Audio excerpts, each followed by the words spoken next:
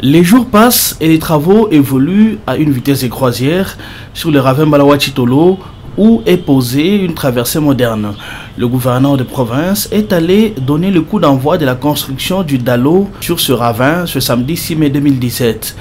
Une marée humaine accompagne Alphonse Sanji sous les chants et cris de joie. La dalle est donc ce pont de grand tonnage qui va relier les quartiers Chombela à Bipemba, Nkoulouse à Djoulou, 30 ans après l'enclavement causé par le plus grand ravin de la ville de Mbujimaï.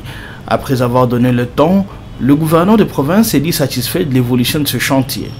Cette dalle que nous allons poser aujourd'hui constituera le pont qui va relier les, deux communes. Donc, et donc c'est historique, vraiment euh, historique pour ceux qui ne croyaient pas. Aujourd'hui, je crois qu'ils pensent à, y croire. J'avais dit qu'en ayant 120 euh, jours, on finirait les travaux et ça avance très bien. D'ailleurs, on est même en avance. On est même en avance. Je rassure ma population que d'ici le 30 juin, le défilé sera organisé sur euh, Les ouvriers de Mbalawachitolo recrutés par l'OVD sont en avance par rapport au délai imparti.